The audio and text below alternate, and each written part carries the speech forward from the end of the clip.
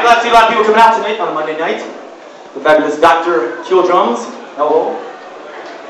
Brought to you by The Pit, Ryan Madden, Mr. Steve Wackel. Uh, we're doing a lot of songs tonight from our new album. The title track. a tune called Bad and Crazy, this one.